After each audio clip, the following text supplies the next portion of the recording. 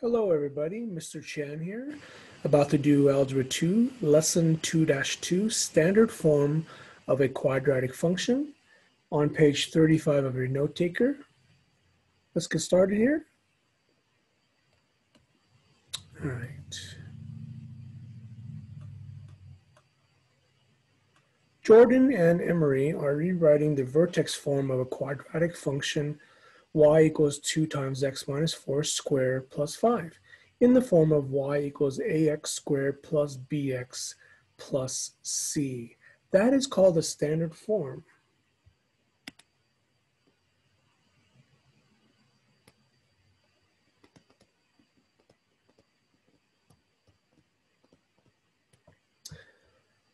All right. Question. Did Jordan rewrite the equation correctly? Did Emery? Let's take a look at their work here. Ooh, I see something right away under Jordan's work. Looks like he distributed the 2 to the parentheses first. Unfortunately, because of order of operations, you must be doing powers first before you can do any multiplication that power must be done first. So that thing that he just did there is illegal for Jordan.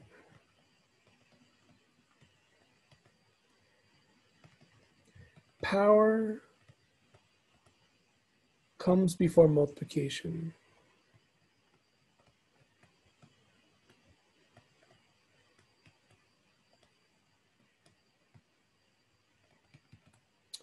Okay.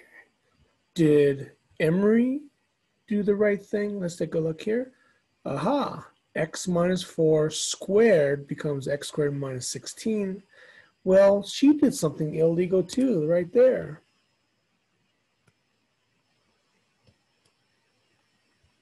It should be expanded and foiled or apply the distributive property.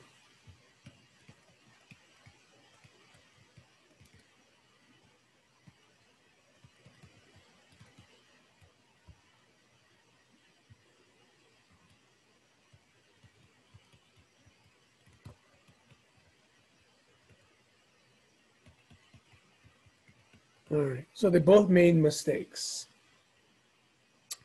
Next question, Without rewriting the equation, how could you prove that Jordan's or Emery's equation is not equivalent to the original? Well, you can always substitute in values.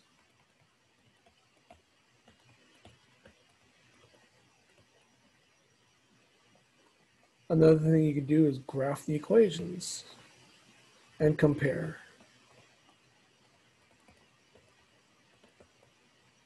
All right. Habits of mind. Casey rewrote the vertex form too. y equals 2 times x minus 4 squared plus 5 equals 2. Oh, I see it right there. Casey's not following order of operations. He tried to add negative 4 plus 5 and got 1. That's illegal. Come on, Casey, you can do better than that. Next page. All right. Find the vertex of a quadratic function in standard form. I have to warn you, what I'm about to show you is kind of a proof from geometry. Take what we know about the vertex form, A's, H's, and K's, expand and look at what we get here in terms of the standard form. I want you to realize the proof itself is in the textbook. I'm not going to write it out, but it's in the textbook. You can look for yourself. And when you look for the textbook for the proof, converting from vertex form to standard form, you will see an upcoming formula.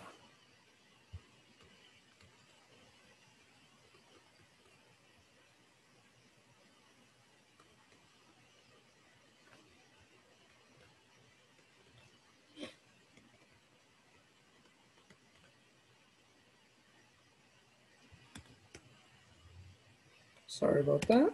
Ran out of space. I'm going to rewrite that a little smaller.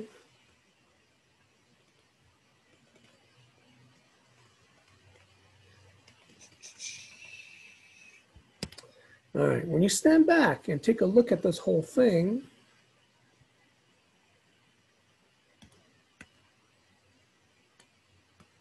scooch that over a little bit you will notice that the a value in front of x is still a. The b value is kind of interesting. In front of x, let me circle those. ax squared, the a value is still a. The b value is interesting in front of x is right there. And the C value is actually the whole thing right there, the constant.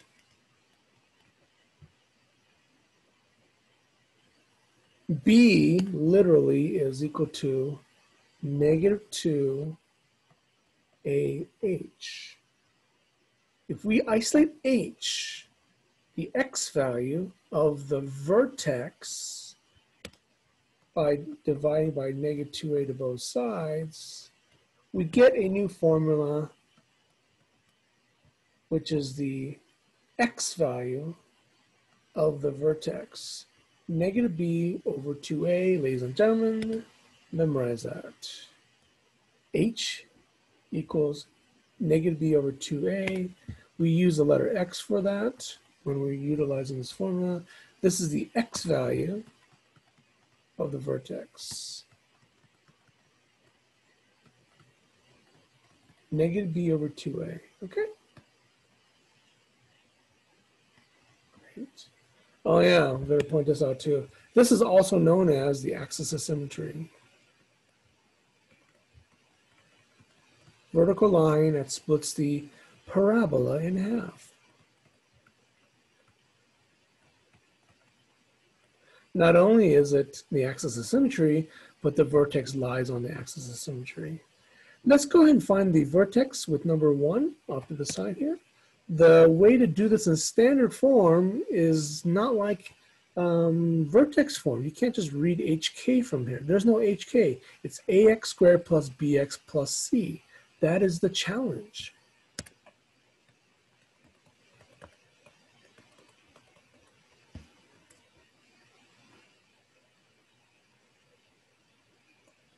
I do need my formula, x equals negative b over 2a. Remember, x replaces h from the left side. This is the x value, okay? Let's plug the values in after we realize that a formula is in standard form. A is 1. B is negative 8 and C is positive 5. Okay, well, we didn't really need the 5 there. Let's plug the information in. And just be careful with those negative signs. All right, B is negative 8. A is positive 1.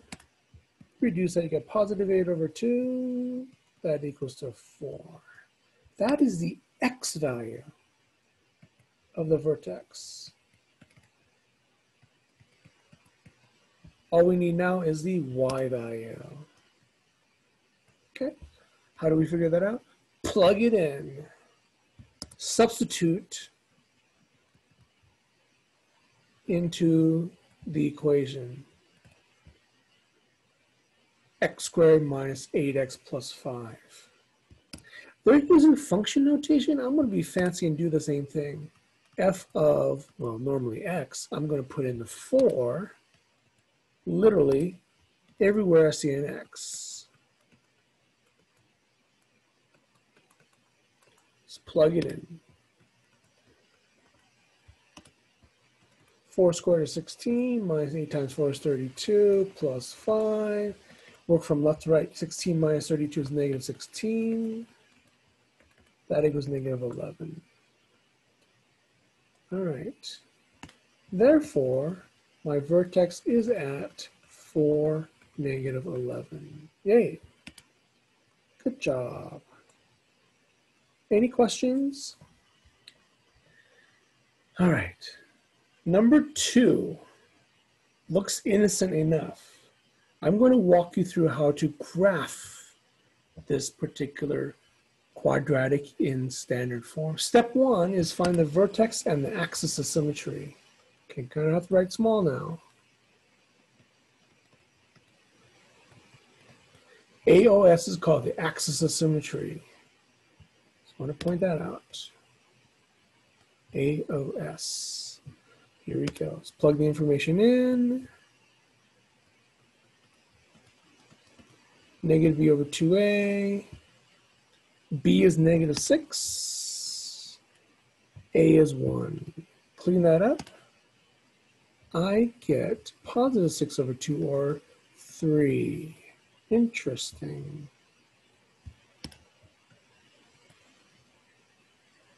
Plug in 3 into the equation to solve for the y value. Here we go. Plug it in, plug it in, plug in 3. Okay, don't freak out about that f of 3. That's just function notation, okay? That's like y. Don't freak out about that. 3 squared is 9, minus 6 times 3 is 18, minus 1. That equals to negative 9, minus 1, that equals negative 10. Ladies and gentlemen, there's my vertex. 3, negative 10. I'm going to run out of room here, aren't I?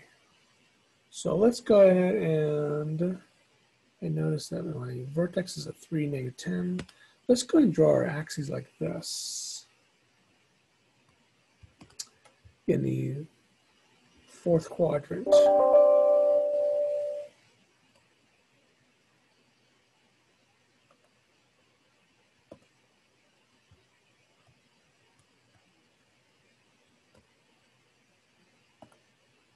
All right. Neg I'm sorry, 3, negative 10 is the vertex.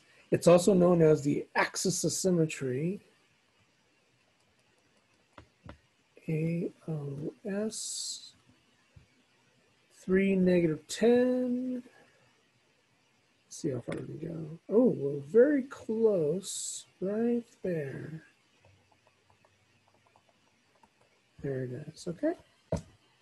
Okay, that's step one. Step two, I need a point to connect everything to. Well, there's something we can do that. That is to use something called using the y-intercept.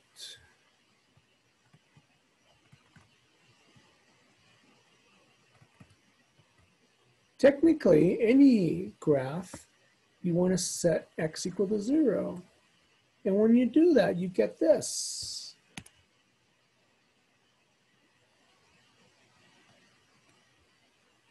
Zero squared minus six times zero minus, oh, the zeros killed most of the graph except for that number by itself. That number by itself is the letter C, ladies and gentlemen.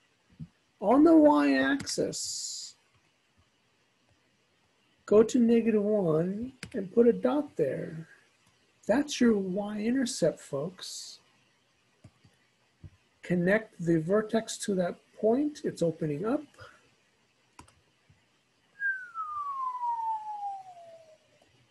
Remember, parabolas are symmetric with the axis of symmetry splitting the parabola in half. From that y-intercept to the axis of symmetry, I can see that it's three units apart. I can just eyeball another three over here and make another point out here. And boom, there we go. We have our parabola. Nice job. The parabola is symmetric.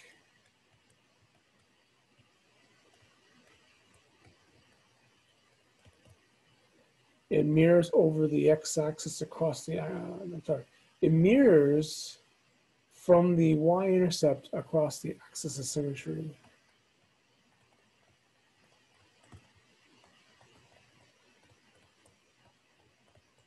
Yay.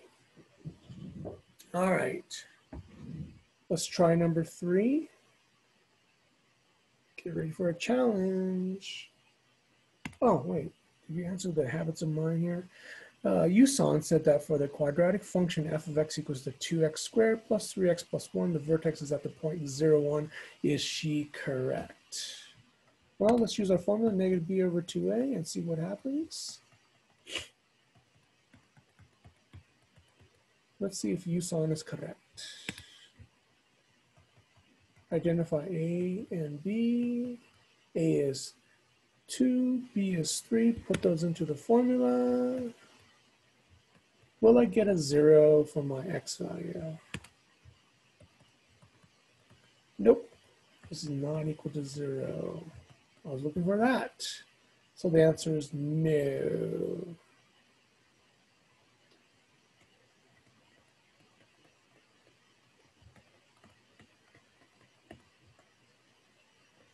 All right, next problem. Ooh, a real world parabola. A water balloon was thrown from a window. The height of the water balloon over time can be modeled by the function y equals negative 16x squared plus 160x plus 50. It's definitely in standard form, isn't it, folks? You notice that the a value is negative, which makes sense because this parabola is upside down, it's opening downwards. What was the maximum height of the water balloon after it was thrown? The maximum height is right there, which happens to be the vertex.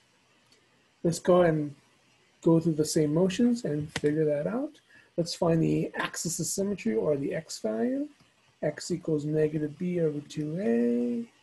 This equals to negative b is 160 in that formula divided by 2 times negative 16.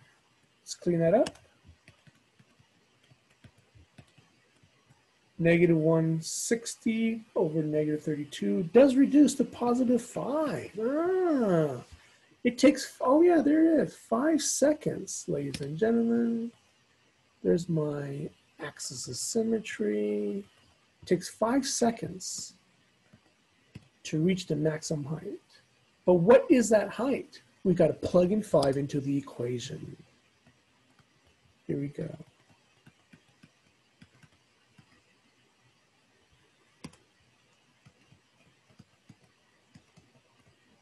Plug it in, plug it in. These real world problems get a little challenging. Oh boy.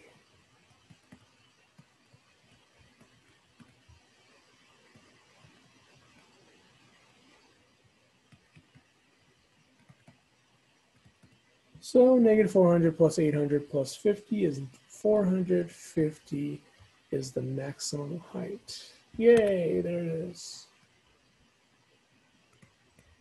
450. How long did it take? Five seconds. We already got that earlier. Sweet. Nice job. All right. Example four is next.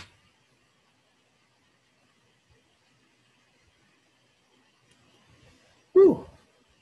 This is one of the harder things that we do in Algebra 2. We have to come up with a parabola based off of three random points. You have to treat those points as x's and y's. I'm going to use different colors here. We are going to put it into the standard equation. y equals ax squared plus bx plus c three times because there are three different points. I'm going to color code them. XY, XY, and XY. And I want to literally substitute it into that standard form and go from there. Okay? Woo! This is where technology will help us solve this problem. First point is 2, negative 12. Let's plug it in.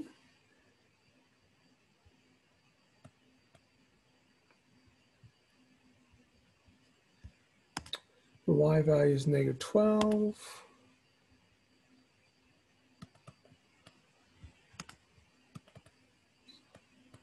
Times that. All right, so I'm replacing x's and y's into here. x is 2. And when you clean that up, you'll get an equation. Negative 12 equals a 4a plus 2b plus c. Keep that in mind. Great. Second equation, the coordinate point is negative 1, negative 15. Plug those numbers in. Negative 1, negative 15. Plug that in. Clean it up. Ooh, negative 1 squared is positive 1. Minus b plus c. There's my second equation. Third equation, here we go. We are plugging in negative 4, negative 90. That's a crazy number. All right.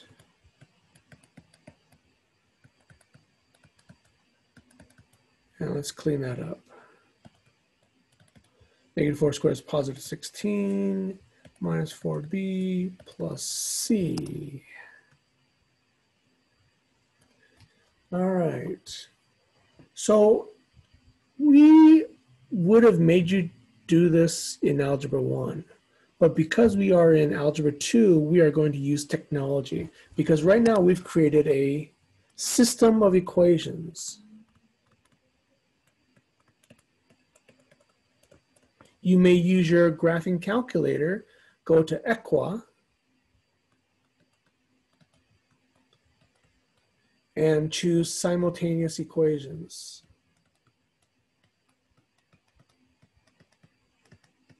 to solve for this. All right, I'm going to go ahead and invoke my version of it.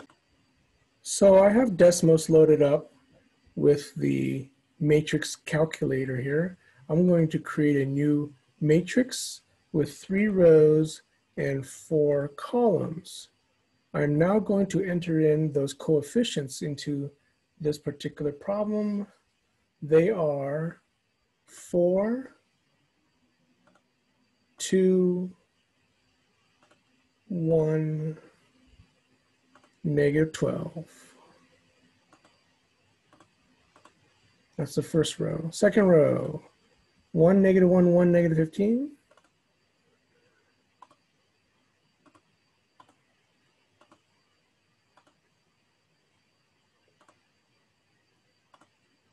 And finally, third row, we have some big numbers here, 16 for the first number, negative 4 is next, positive 1, and that equals a negative 90.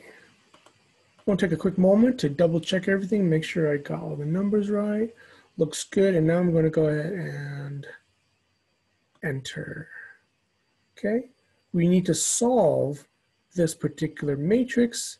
We click on RREF matrix A, and there it is. Look at that resultant matrix equation. One x equals negative 4, 1y equals positive 5, 1z equals negative 6. Let's go ahead and switch back to the notes and put that information in.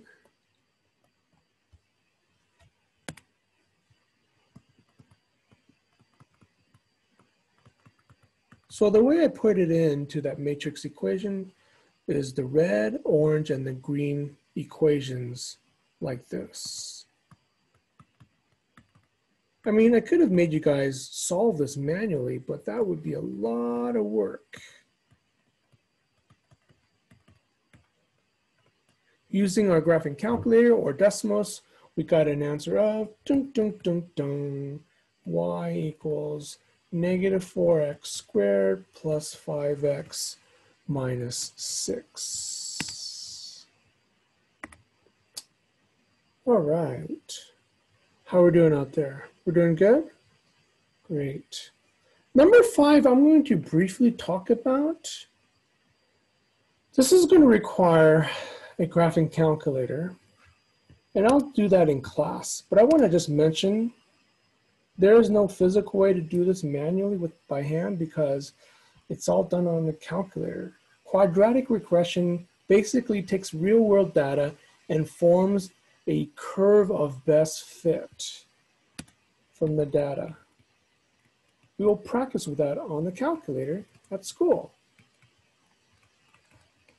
This curve of best fit is for a quadratic regression. On your calculator, especially the TI, you want to look for that particular function. On the Casio, I believe is just x squared as the button you're trying to do. So basically you're going to take your graphing calculator, go to stat, make sure you put in for your first list the time, and the second list you want to put in for the height. And then from there you want to graph it. You got to tell it where to put it put in a graph one, doesn't matter. And then after you graph it, you want to do a quick calculation and you're looking for, ah, there it is, x squared. When you do that, you will get, because this is all calculator work, y equals negative 16x squared plus 12x plus 10. Amazing technology. Question at the bottom. How many points does it take to determine the equation of a quadratic function? Why are so many points uh, used in example four? Well, at a minimum, you need three.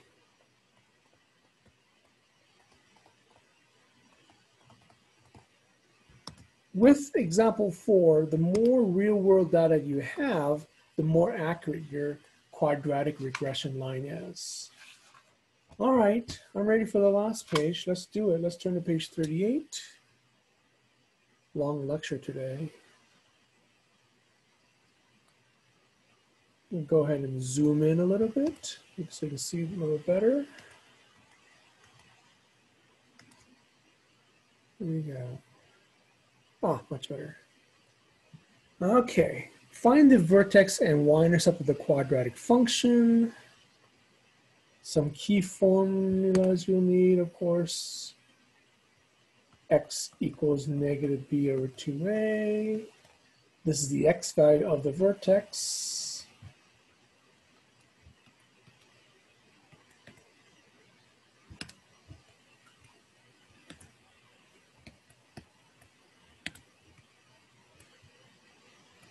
And then you plug in that answer, the x value, into the function itself to get the y value. Okay, let's do that.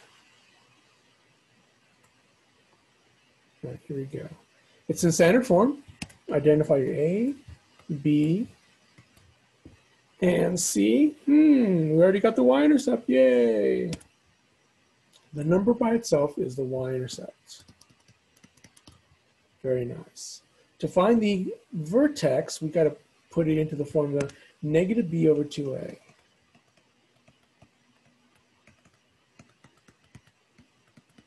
Let's plug in negative b and 2a. That gives me positive 12 over 6, which equals 2. That's half the battle. That 2 now must be plugged into my y function to get the y value of the vertex.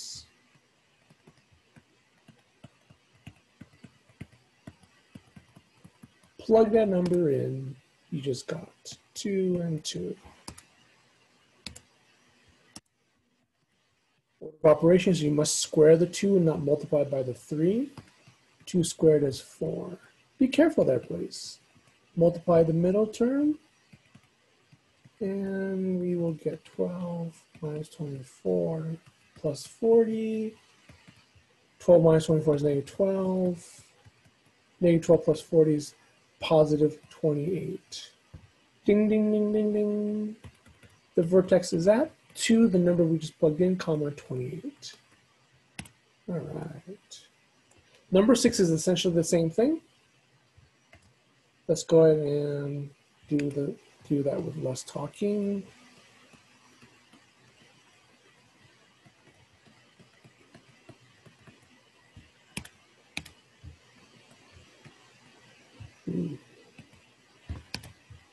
C7 is y-intercept.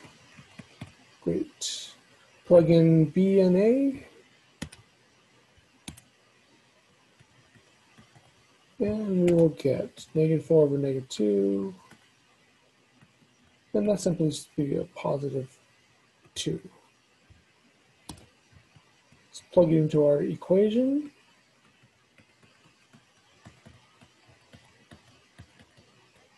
And we're plugging in 2. Clean it up very carefully. 2 squared is 4, does a negative sign way in front, plus 4 times 2 is 8. Clean that up. Ah, I get 11. Vertex is at 211. All right. Whew. Number seven. Find the maximum point of the parabola. Basically, they're just asking for the y value. You're essentially going through the same thing. And the reason why they call it the maximum point is that both of these are opening downward because of the A is negative. All right, let's do it. The same as number five and six. Basically, plug the numbers in. We don't need C this time, do we? Nope. Clean that up. Oh, there's my x value. Plug it in to my equation and get the y value.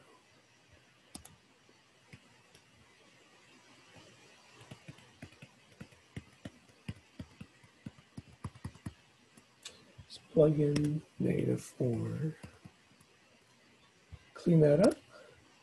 Watch out, don't do negative 2 times negative 4 first. You got to do negative 4 squared. Order of operations positive 16. Negative 16 my, uh, times negative 4 in the middle is plus 64. Let's keep going.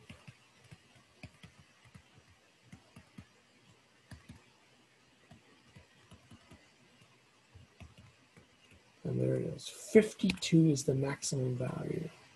That is the y value of the vertex of a parabola opening upside down. All right. Number eight, same process. Here we go.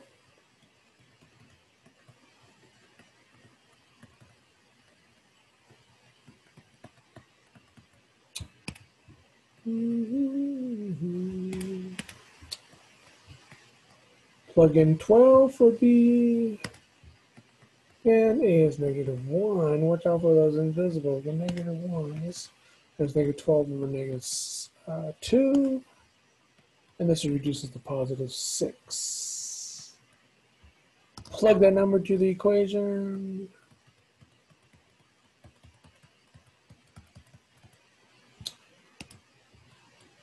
And watch out for your order of operations. Negative is not part of the 6. The 6 is squared. That's uh, positive 36. Slap on the negative in front. 12 times 6 is 72. Clean that up. Oh, there it is. 21 is your maximum value. All right.